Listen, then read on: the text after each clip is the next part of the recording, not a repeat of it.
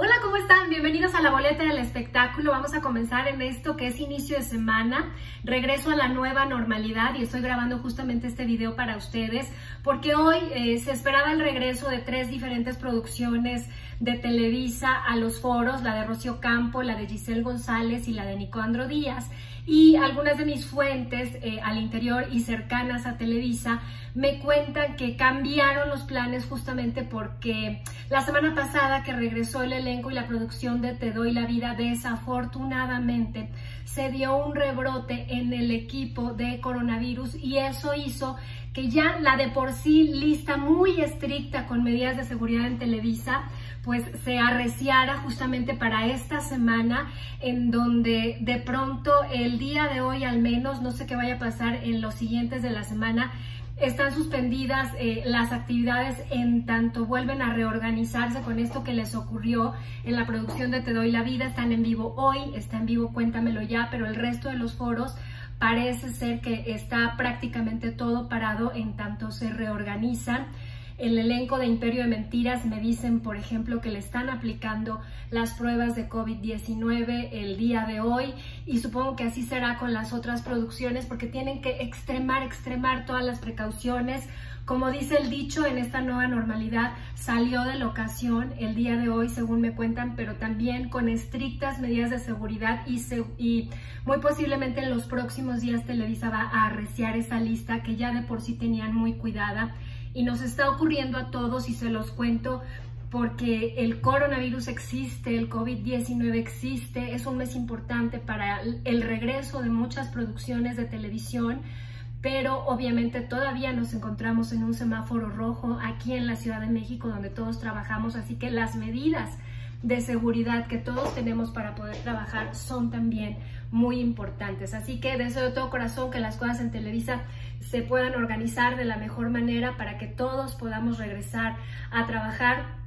también en las mejores condiciones y sin este susto de, rebrotes al interior de, las producciones. Así las cosas eh, vienen, o sea, siguen los planes para arrancar Guerreros el 15 de junio sin público en vivo, eso es importante decir, y sin público en vivo también arrancará el día de mañana La Voz en la señal de Azteca 1, únicamente los coaches y los participantes con el equipo de producción también mínimo y guardando estrictas medidas de seguridad. Comenzaron las grabaciones la semana pasada. Esta semana eh, comienzan las transmisiones al aire y arranca de lleno la voz entre semana. Hay, que, hay una anécdota súper bonita porque los coaches estuvieron más de 70 días en sus diferentes eh, lugares y países y casas guardando una cuarentena y cuando Montaner tenía que venir de Miami a México fue Belinda la que le ofreció su casa para poder hospedarse. Finalmente no fue así y encontraron el lugar idóneo para Ricardo Montaner,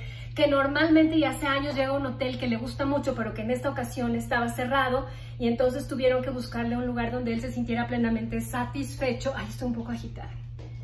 Perdón, es que estuve bajo todo el santo día. Un lugar donde se sintiera realmente cómodo para poder eh, trabajar aquí en México, pero Belinda le ofreció su casa, una habitación segura para que justamente pudiera eh, venir a México y comenzar las grabaciones. Ya arrancó esta primera semana, va súper bien, mañana la veremos al aire y seguramente sacaré un video también en esta semana hablando de lo que es el estreno y un poco leyendo los comentarios de todos ustedes con respecto a cómo están sintiendo el regreso de la voz. Me preguntan mucho, muchísimo por Survivor, este reality show también de televisión azteca que aún no tiene una fecha segura de aire. Quiero pensar que será igual la segunda quincena del mes de junio. Se está esperando ya que despegue el avión con todos los participantes y toda la gente que debe ir desde México. Ya hay un equipo de producción de avanzada en la isla, pero me imagino que es en estos días y a mediados del mes de junio, seguramente empatado con el estreno de Guerreros, estrenará Survivor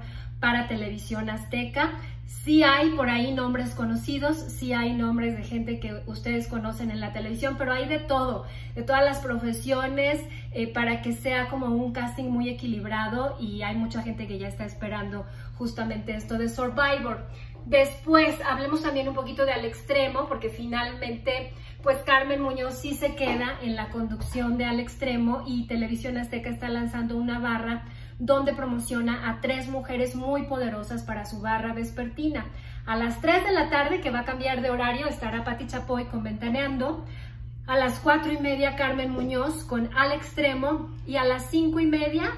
Penélope Menchaca con Enamorándonos, que van a ser dos horas de programa. Y entonces son tres mujeres al frente de lo que es la programación vespertina de Televisión Azteca. Creo que es bastante fuerte lo que están proponiendo porque son tres mujeres que tienen mucha identificación cada una en su rama. Carmen Muñoz finalmente se quedó en la tarde porque el público de la tarde comenzó a pedirla mucho, gustó mucho su trabajo en Al Extremo, sí en algún momento se llegó a pensar que venía Venga la Alegría, pero pues las decisiones en la televisión son así, siempre ubican a cada una de sus piezas en el lugar en donde mejor combinan y en donde mejor trabajan y Carmen pues muchas felicidades por ella porque donde la pongan a esa mujer, donde la pongan funciona. También Gaby Krasus, que es la conductora de Al Extremo los fines de semana, me la encontré hace unos días en maquillaje y ella me contó muy contenta, por cierto, que se va a vivir a Mérida. Su esposo, que también es actor, tiene eh, un despacho con negocio, que hace negocios justamente en la zona sur del país, le está yendo muy bien así que decidieron irse para Mérida. Ya se fue la mudanza, ya se fue todo el menaje desde el mes de febrero, pero a ellos como familia les tocó, les agarró esta cuarentena y este aislamiento aquí en la Ciudad de México, así que finalmente decidieron quedarse en casa de los suegros de Gaby, pero ya eh, en unos días eh, su esposo está en Mérida, él, él ha ido y venido, me parece que esta semana ya está en Mérida y ella pues en unas semanas más que termine sus compromisos de trabajo ya se irá definitivamente a vivir con su esposo. Y es que la vida es así, nos obliga de pronto a tomar decisiones. Gaby tenía muchos años aquí en Televisión Azteca, tenía muchos años en la pantalla de Al Extremo, pero su vida de familia en este momento tiene prioridad y me decía, Flor, yo no sé estar sola, yo no sé, perdón, estar sin hacer nada, Así que seguramente allá en Mérida encontrará la, forma, hay Azteca Mérida también, encontrará la manera